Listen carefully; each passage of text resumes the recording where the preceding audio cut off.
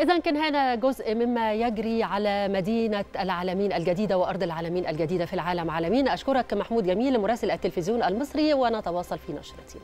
نعم أخبار المال والأعمال مشاهدينا نتابعها وإياكم. انضم إلينا فيها الزميل محمد عبد الله فعليك محمد. شكرا جاي وشكرا لك هبه إلى أخبار الاقتصاد محليا وعربيا وعالميا.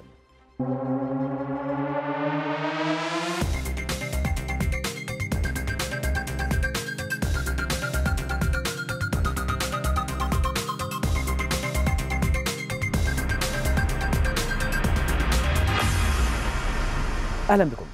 نفى المركز الإعلامي لمجلس الوزراء ما تردد عن أنباء بشأن وجود عجز في الكميات المعروضة من الأرز بالأسواق والمنافذ التموينية نتيجة تراجع المخزون الاستراتيجي من المحصول. وأكد المركز توفر كافة السلع الغذائية الأساسية بشكل طبيعي بما فيها الأرز مع انتظام ضخ كميات وفيرة منها يوميا كسلعة تموينية وحرة بجميع الأسواق والمنافذ التموينية وفروع المجمعات الاستهلاكية بكافة محافظات الجمهورية.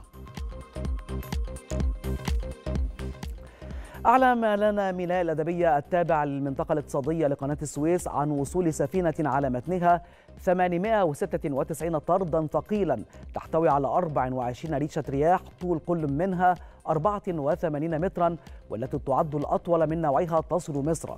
يأتي ذلك تمهيدا لنقلهم لرأس غارب ضمن مشروع لبناء 84 برجا فائق الطول بمحطة توليد الكهرباء من طاقة الريح بقدرة 500 ميجا وات وأكد رئيس المنطقة الاقتصادية لقناة السويس وليد جمال الدين أن ميناء الأدبية مؤهل لاستقبال معدات المشروعات القومية حيث من المنتظر أن يستقبل خلال الأيام المقبلة شحنتين أخرتين إحداهما تحتوي على 84 ريشة رياح والأخرى 77 ريشة بالإضافة إلى باقي المعدات وذلك لصالح مشروعات الطاقة.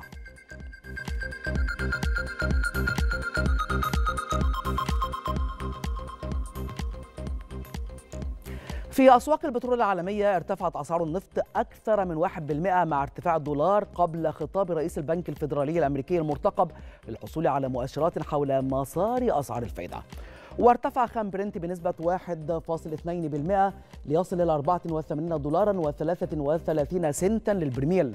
كما ارتفع خام غرب تكساس الوسيط الأمريكي بنسبة 1.2% ليصل إلى 79 دولارا و98 سنتا للبرميل وارتفعت كذلك أسعار المازوت عالميا بنسبة 1.28% لتصل إلى 3 دولارات و16 سنتا وانخفضت أسعار الغاز الطبيعي بنسبة 1.15% لتصل إلى دولارين و49 سنتا لكل مليون وحدة حرارية بريطانية.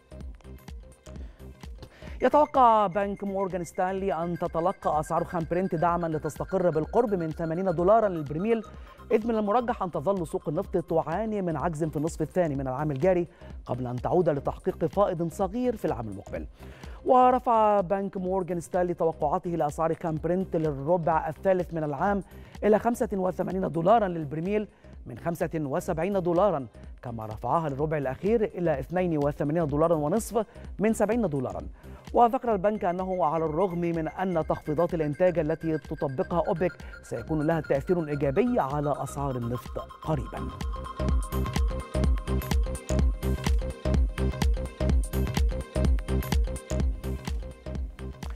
قال القائم بأعمال حاكم مصر في لبنان المركزي وسيم منصوري إن البنك لن يطبع العملة المحلية لإقراض الدولة أو لتغطية العجز المتوقع في البلاد التي تعاني من أزمة. وفي مؤتمر صحفي حث منصوري الزعماء على إجراء إصلاحات مالية عاجلة محذرا من أن التأخير في إقرار القوانين الإصلاحية يعرض لبنان لمخاطر عزله عن النظام المالي الدولي. وقال منصوري إن مشروع الموازنة لعام 2023 تضمن عجزا للدولة بمقدار 4 أو 46 تريليون ليرة.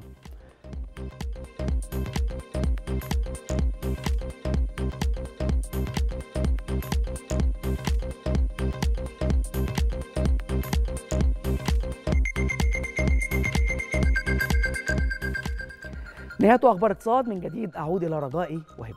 شكرا محمد عبد الله. شكرا ليك.